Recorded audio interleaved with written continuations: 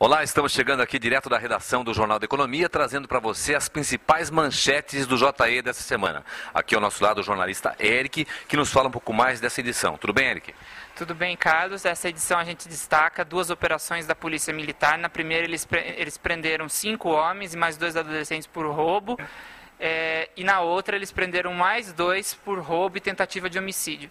É, o jornal também destaca que o vereador Donizete Carteira entrou com uma representação no Ministério Público contra a empresa Expresso Regional. Aliás, em questão da Expresso Regional, diversas vezes estamos recebendo aqui cobranças no Jornal da Economia, já que a empresa vem pecando muito em relação aos ônibus. Ônibus quebrado, falta de segurança, enfim, são as reclamações das pessoas que usam a Expresso Regional. O que mais que tem?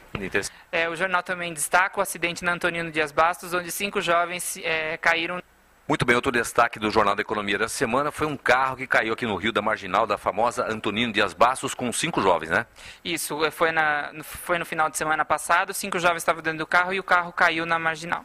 Tá certo. Nessa edição você encontra também um tabloide especial dos 22 anos do Jornal da Economia, um tabloide comemorativo. Aliás, está bonito, mostrando aqui na capa a equipe do JE, pelo menos parte da equipe do JE, e falando um pouquinho mais da história do jornal. O que, que você achou desse tabloide, Eric?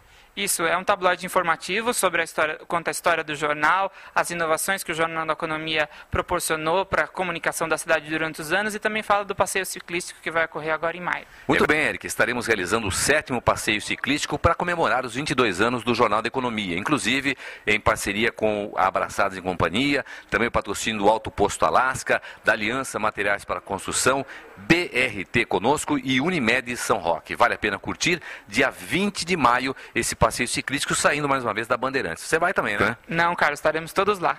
Vai levar uma galinha também? Com certeza. Certo, vale a pena curtir e conferir dia 20 de maio o sétimo passeio ciclístico do Jornal da Economia, um jornal diferente. A gente volta a qualquer momento com mais informações e mais notícias para você aqui no site do JE. Um abraço e até breve.